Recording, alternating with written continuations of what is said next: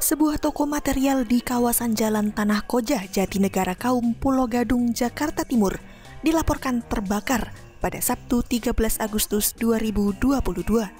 Dinas Penanggulangan Kebakaran Jakarta Timur melaporkan peristiwa kebakaran terjadi pukul 12.30 siang. 10 kendaraan pemadam serta 50 personel diterjunkan untuk menanggulangi api.